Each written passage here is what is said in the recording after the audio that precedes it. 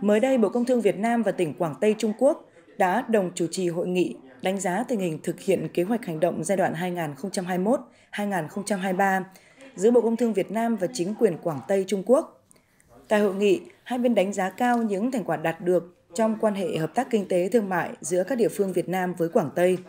đồng thời chỉ ra những vấn đề, kế hoạch hợp tác còn tồn tại trong quá trình triển khai kế hoạch hành động giai đoạn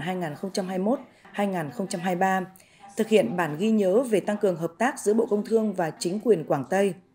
Trong bối cảnh thời điểm chuẩn bị bước vào dịp cao điểm thâm quan hàng hóa xuất nhập khẩu, phục vụ nhu cầu các dịp lễ Tết, truyền thống quan trọng của cả hai nước năm 2023 đang đến gần, Thứ trưởng Bộ Công Thương Việt Nam Trần Quốc Khánh đề nghị Quảng Tây và các địa phương biên giới Việt Nam cần phối hợp chặt chẽ nhằm đảm bảo thông suốt và nâng cao hiệu suất thông quan hàng hóa tại các cửa khẩu biên giới, tránh tái hiện tình trạng ùn tắc hàng hóa tại khu vực cửa khẩu, lối mở biên giới giữa Việt Nam và Quảng Tây như cuối năm 2021.